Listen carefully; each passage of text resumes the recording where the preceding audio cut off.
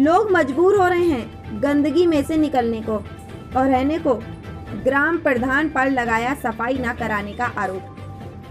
Corona नामक भयानक virus के चलते हुए देश में हर जगह कोरोना संक्रमित निकल रहे हैं और हर जगह शासन प्रशासन के द्वारा तरह तरह के इंतज़ाम किए जा रहे हैं और साफ़ सफ़ाई पर विशेष ध्यान दिया जा रहा है। लेकिन कुछ ग्राम प्रधान अपनी मनमानी करने को उतारू हैं।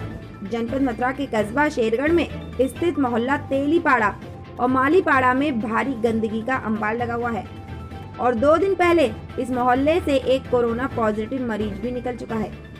लेकिन फिर भी सफ़ाई कर्मचारी मोहल्ले में नहीं आता है। स्थानीय निवासी अब्दुल गफ्फार ने बताया कि हमारे इस मोहल्ले में बहुत दिन से गंदगी का अंबार लगा हुआ है। हमने कई बार ग्राम प्रधान जमीला, बेगम शेरगढ़ व उनके प्रतिनिधि फकरुद्दीन से शिकायत की है।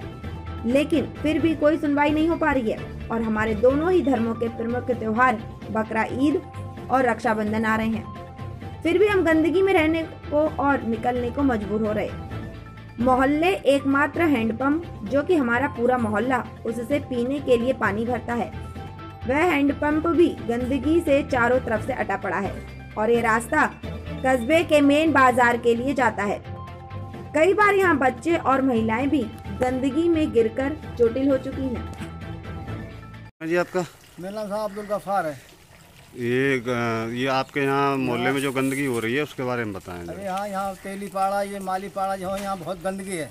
अच्छा। इसलिए यहाँ कोरोना का मरीज़ भी जाँच है रही है वैसे तो। एक मरीज़ भी निकल चुका है यहाँ? हाँ ऐसी बता मैं वैसे भी। अच्छा तो तो ऐसा ये गंदगी साफ़ होनी चाहिए। तो इसके हमारा त्यौहार आ रहा नजीक ईद है सलोने हैं इसलिए हम बोलते हैं कि यहाँ सफ़ाई होनी चाहिए।